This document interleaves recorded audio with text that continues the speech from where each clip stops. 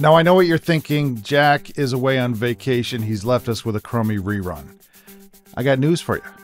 We've got a brand new listener question that we're going to answer in this episode with a crummy rerun. But I think it's going to be fresh because it's so old. Where, where, when's this episode from? It's uh, November 2020. It's so old you won't have remembered it. It'll be like it's new. Am I am I selling this thing? Oh it's yeah, a, I think people are tuning in in the thousands right now. it's about fine art. By the way, listening in, our audio producer Meta, like you need an introduction. Let's hear our listener question. We can't hear it because it's shown oh. Ah. only in print. Hold on, I gotta take a minute to recover. But Dennis writes us. Go ahead.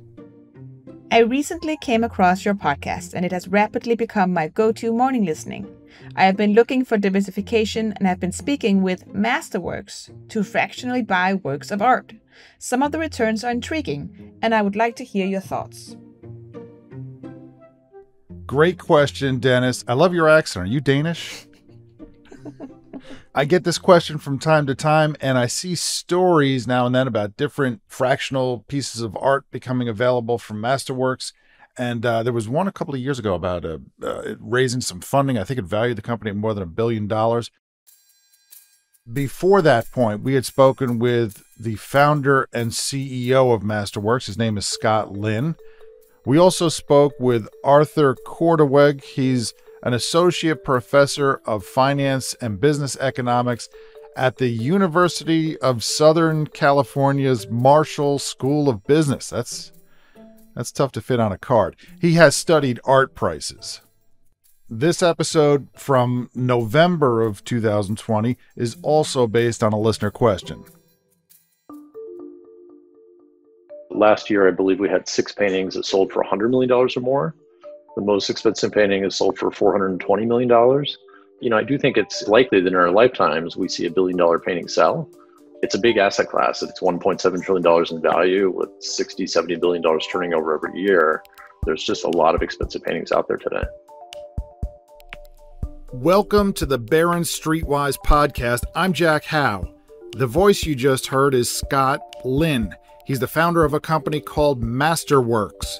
It lets investors buy part ownership in fine art, Picasso's, Warhol's, Monet's, much like how stock investors buy part ownership in companies.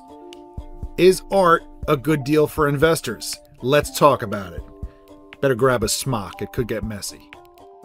Listening in is our audio producer, Meta. Hi, Meta. Hey, Jack. Are you a fine art fan, Meta? Um, not really, but I did used to go gallery hopping in New York where you like go to a bunch of different galleries and you look at the art. Nice. And you know, there's like free wine. Oh boy. you say that like uh was it was it more about the wine or the art? It was definitely a combination. Good. Well they go well together. Yeah, for the artists too. That sounds wrong. I mean, the, the more wine, the better you like their art, you know? so if you're not sure about how good you are as a painter, bring gallon jugs, is what you're saying. I don't think it hurts. I should know a thing or two about art. I've visited art museums in dozens of countries across five continents. And when I lived in New York City, I had a membership to the Metropolitan Museum of Art. I went at least 50 times. But if you ask me to compare, let's say, Monet with Manet, the only thing I'm pretty sure of is that you're not supposed to pronounce the T in either one. The truth is, I only went to the Met so many times because it was my go to place when the weather was bad for pushing my daughter in a baby carriage to get her to take a nap. During all those Met visits and all the museum stops during my world travels, surprisingly little seems to have sunk in. I know that Van Gogh is the guy whose fields look swirly, and that's about it. I saw an online guide to identifying painters that I think was meant as a joke, but it's actually pretty handy. For example, if it's a party scene and everyone seems happy, it might be a Renoir. But if everyone at the party seems unhappy, that might be a Manet. If there are ballerinas in the painting, guess Degas, although I'm not 100% sure how to pronounce that one. If you see a painting and everyone's naked and physically fit, it could be a Michelangelo, but if everyone's naked with big rear ends, That's probably a Rubens. If there are body parts in weird places, it could be a Picasso, but this one's tricky. I've seen Picassos where the body parts are in the right places. As far as I know, with Picasso, the body parts migrated to stranger places as he got older. Finally, if it looks like you're on a hallucinogen, it's a Dali. Unless you're actually on a hallucinogen, in that case, it could be anything. Now, Meta, I understand we have a listener question about fine art. We do. It's from Reed in Brunswick, Maine. Hey, Jack and Meta. I'm a senior at Bowdoin College. Huge fan of the podcast. Been uh, been listening for a while now, and just had a quick question about investing in art. So that art is an asset class that's been kind of reserved for the the ultra wealthy, but recently there have been some platforms that have come out uh, in efforts to democratize access to that asset class. Um, I guess I won't name any specifically, but you know, given the opportunity, would you recommend um, investing in art as a small, you know, retail investor as means to diversify one's portfolio, or would you avoid doing so? Thank you. Thank you, Reed. You'd like to know whether to invest in pricey paintings using a platform that, as you say, democratizes access. It sounds like you mean shared ownership, buying a little stake in a painting instead of the whole thing, in hopes of selling your stake down the road for a profit because the art becomes more valuable. The biggest platform I know of for that is called Masterworks. It was founded three years ago by a guy named Scott Lynn. And just for you, Reed, I put in a call. Hello. Hi, Scott. This is Jack Hough from Barron's. Hey, Jack. How are you? Doing well, thanks. Uh, thanks for making a few minutes to talk with us. Yeah, no problem. Happy to help.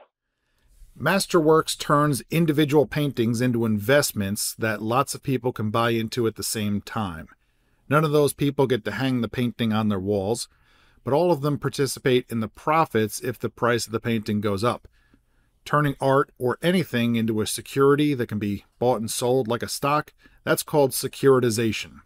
Technically, Masterworks doesn't sell shares of paintings. For each painting, it creates a special holding company that buys, cares for, promotes, and eventually sells the painting. Masterworks sells shares of these holding companies. And just like with any initial public offering, it files forms with the Securities and Exchange Commission that fill the public in on the details. Take the example of Maxine, a 1974 painting by Alex Katz that sold at a Christie's auction late last year for just over a million dollars to a Delaware limited liability company. The company was set up just to buy the painting. Then Masterworks offered shares of the company to the public. The SEC filing for that offering describes the painting, the artist, and the company that bought the painting. It says the company's only purpose is to own, maintain, promote, and eventually sell this painting, and that it will seek to enhance its value by displaying it to the art viewing public. It also describes the management fee, 1.5% a year paid in shares of the company that owns the painting. That covers things like storage, insurance, and overhead. So if you've ever wanted to own Maxine, but you don't have over a million bucks to spend, you can buy shares. And if you missed out on that deal, you might get another chance. That's because Masterworks investors can put up their shares for sale whenever they want. There are risks, which are clearly stated in the Maxine filing. One of them says, The value of the painting is highly subjective. Yes, it is. Another one says, We may have overpaid for the painting. Yes, it's possible. But how can you know whether you've overpaid? The truth is, I have no idea what gives fine art its value. Supply and demand, of course, but there are no cash flows or underlying asset values to tell whether the market price has gotten out of whack. There's a painter named Mark Rothko who died 50 years ago. He painted giant hazy boxes. That's pretty much it. No trees, no ducks, not even big rear ends, just hazy boxes. And the paintings sell for millions there doesn't even seem to be any relationship between how many boxes you get and the price you pay. There's a two box Rothko that sold for $56 million, and a three box one that went for only a million dollars. Many years ago, I bought a coffee table book of Rothko paintings and stared at each page to try to see where the sky high prices were coming from. It didn't work. In my case, not even wine helped. The truth is, when I hear that a painting went for $50 million, a small part of me suspects it's really a piece of performance art, a practical joke, and that the whole world is in on it and I'm the target of the joke. At any moment, someone's going to say, "Just kidding. We bought that for 32.50 at Bed Bath and Beyond. We just wanted to see if you'd go for it." So my first question for Scott at Masterworks was, how do you know what to buy? The thing that's most closely correlated with appreciation rate is actually artist. So if you choose the wrong artist, it doesn't matter how great the painting is, you're, you're probably still not going to make money. So choosing the right artists are, are most critical. And this year we've identified roughly 45 artists that we think are most investable or that will, will appreciate most quickly. And then after our research team selects the artist, we essentially hand that off to an acquisitions team that goes out and tries to find all of the available examples by those artists. Scott says Masterworks is currently tracking around 1,100 paintings and that it only buys 1 to 2% of what it sees. I asked how to avoid overpaying, and Scott says one way is to track sales prices of comparable paintings.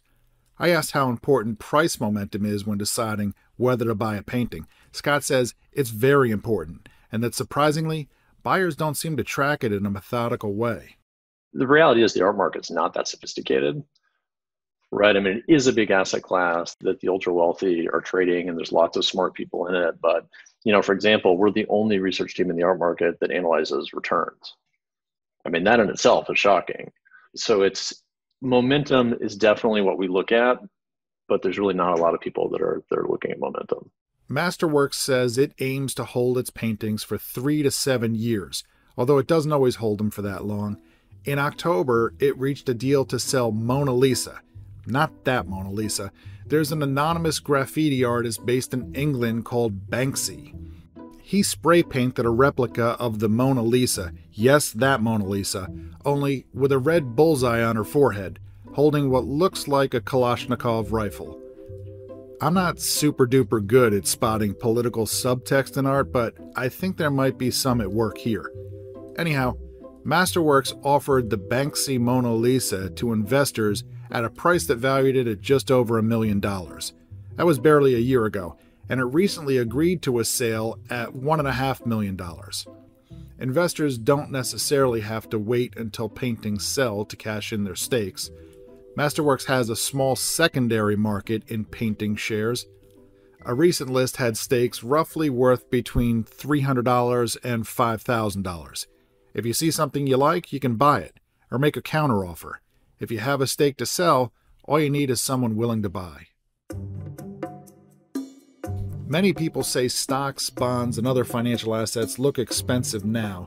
I asked Scott whether he thinks fine art has gotten too pricey. He says no. He says one way to think of art is as a call option on the ultra wealthy.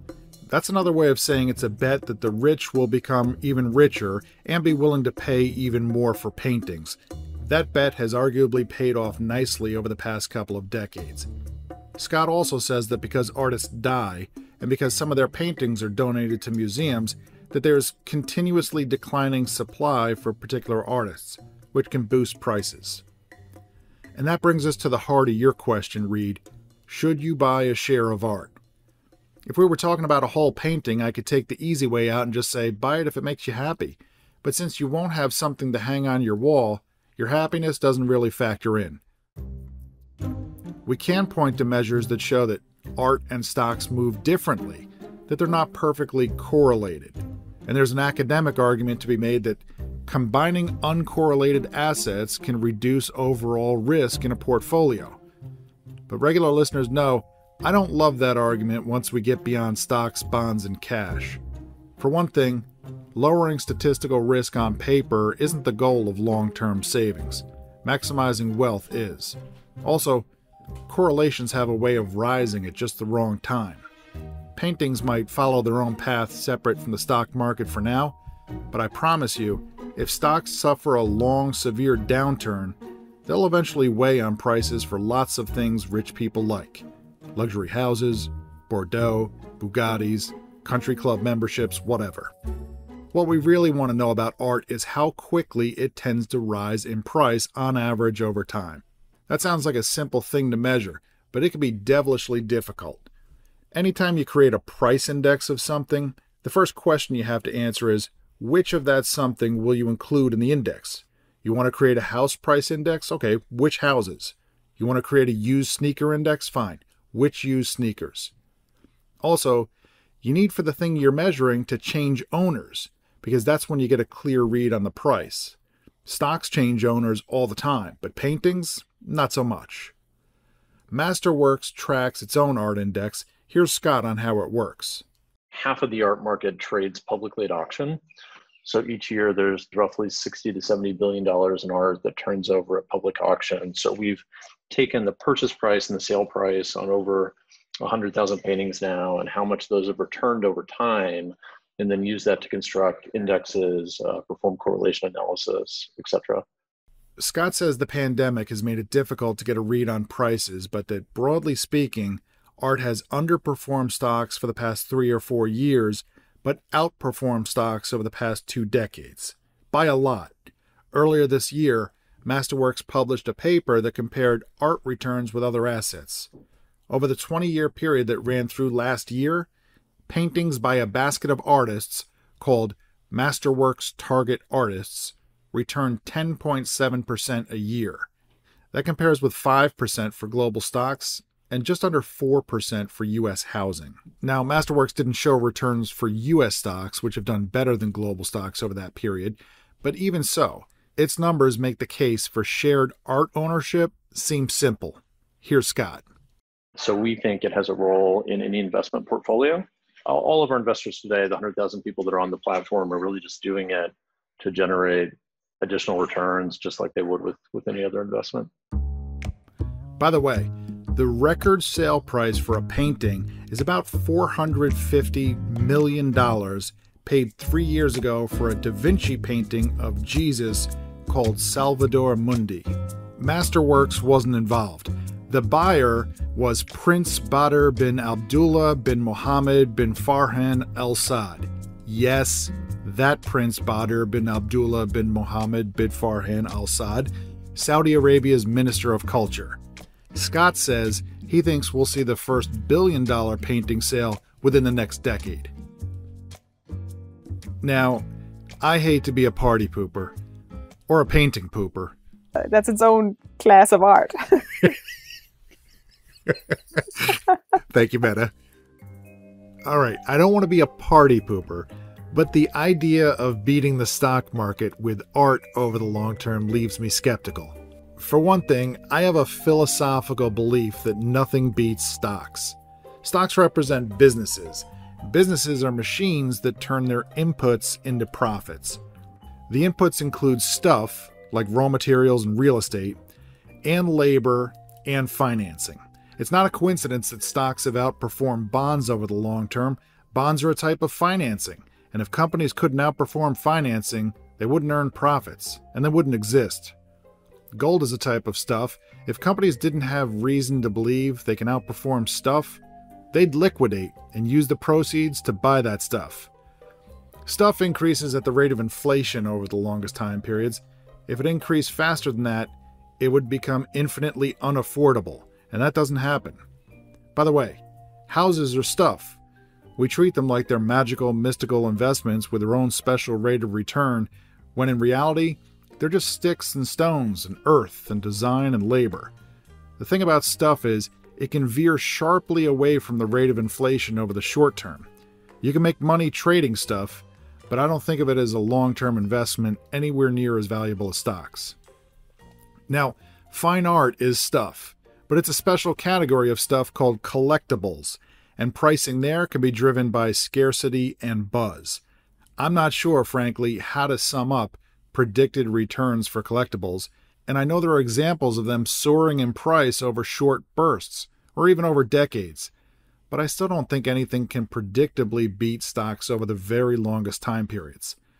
And there's another reason for my skepticism. So we technically would call it a selection bias. So the problem is that these paintings that come to market a lot tend to be the ones that have appreciated quite a bit recently.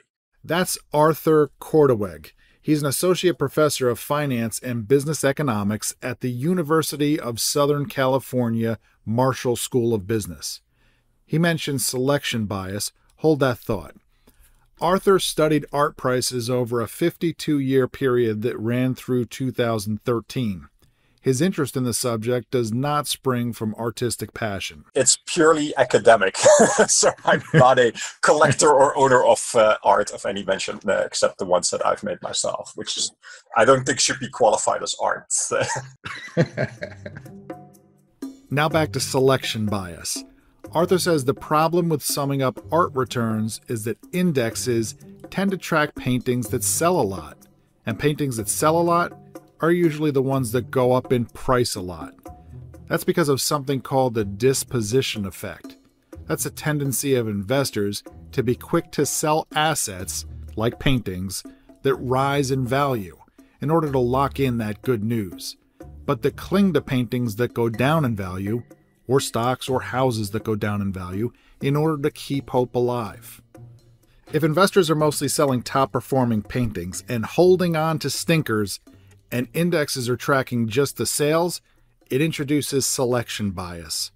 That's when you're trying to measure a random sample of things to make generalizations about the larger group, but the sample you're using isn't random. Now, Arthur used a special data set to measure risk adjusted returns for art both with and without selection bias.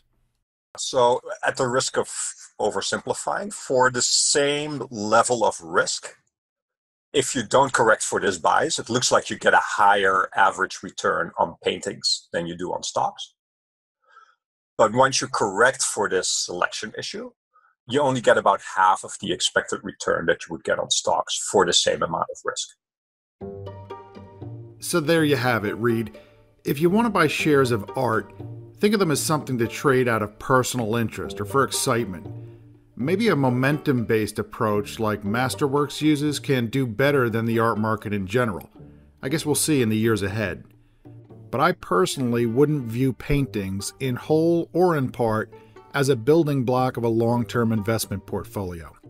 By the way, if you're an investor who's not interested in art, first of all, thank you for listening anyway. And second, just keep in mind that selection bias can affect other assets too like houses and house price indexes. Here's Arthur. There's a similar effect there that people tend to sell houses more that have gone up in value and tend to hold on to the ones that have gone down in value for similar reasons.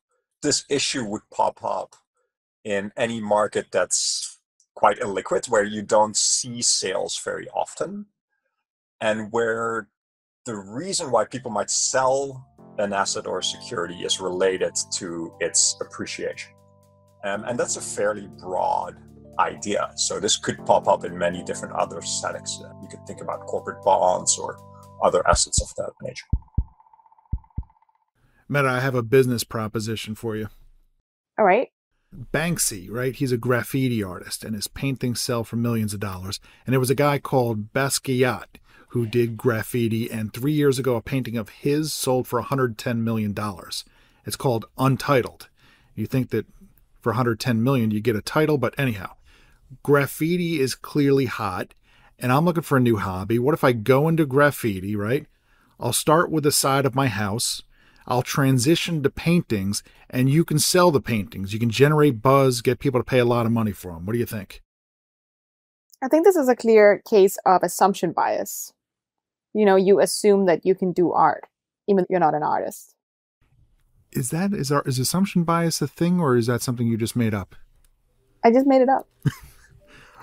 I think you might be guilty of assumption bias for thinking that you can just make up a new bias willy-nilly. Touche. Thank you, Reed, for sending in your question. And everyone, please keep the questions coming. Just tape on your phone, use the voice memo app, and send an email to jack.hough, that's H O U G H, at barrons.com. Thank you for listening. Meta Lutzoft is our producer. Subscribe to the podcast on Apple Podcasts, Spotify, or wherever you listen to podcasts. And if you listen on Apple, please write us a review.